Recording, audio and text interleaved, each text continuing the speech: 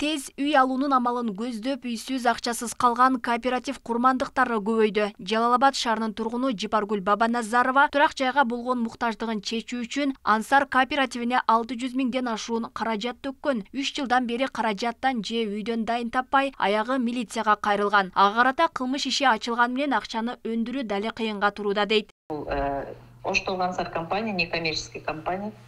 Ошого уже үч жыл болуп калды үч жыл э, болуп калды ноябрь айында алты жүз элүү сом алты жүз элүү миң сом алып барып тапшырганмын июнь айында эки миллион кылып бериш керек болчу үй алам дегенмин бирок мен э, ал компанияга ишенип барган эмесмин арыз жазгандан кийин арызды кайта дагы алып взаиморасчет кылабыз дегенден алдым эле бирок взаиморасчет деле төлөнүп деле мындай частично миң сом беш миң сом ушундай эле аз аздан төлөндү ал жүз миңге жетпеген акча да ошондон бери анан үмүтүбүздү үзүп коюп эле жүрөбүз эмне кылабыз кооперативдердин дарегине карата элден арыз дооматтардын аягы тыйылбай жатат мындан улам турак жай кооперативдеринин ишин үч мекеме көзөмөлгө алмай болду алар юстиция министрлиги ички иштер министрлиги жана улуттук банк тиешелүү жобону министрлер кабинети бекиткен токтом турак жай кооперативдерин натыйжалуу башкаруу үчүн кабыл алынган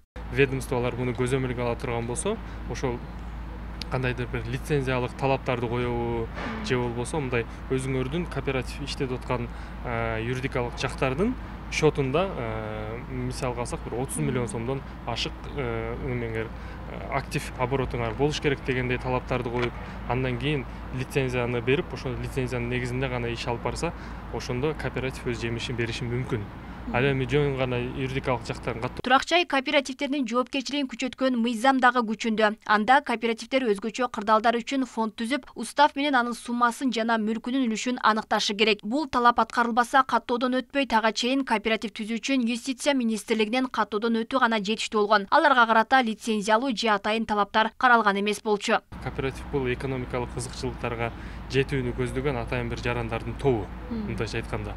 Бирок кооперативди бүгүнкү күндө биздин күндө кандай кылып жиберип атышат бул баягы э, каржылык пирамидага айландырып жиберип атышат да.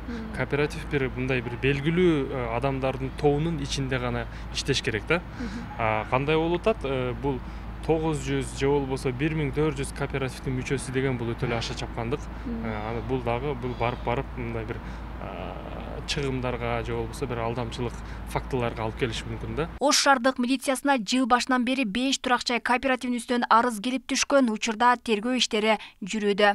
Бүгүнкү күндө э, ифк деп аталган курулуш э, кооперативи боюнча топтолгон материалдар бишкек шаарындагы э, материалы менен бириктирип ошол жака тергөөгө жөнөтүлдү.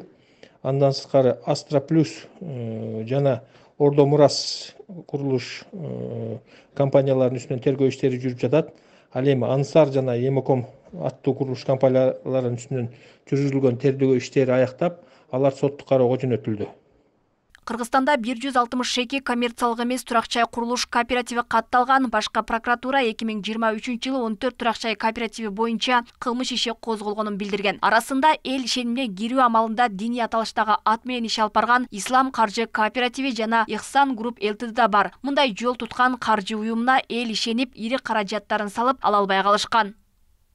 Алмагүл эрке байгызы мирбек конобаев ош тв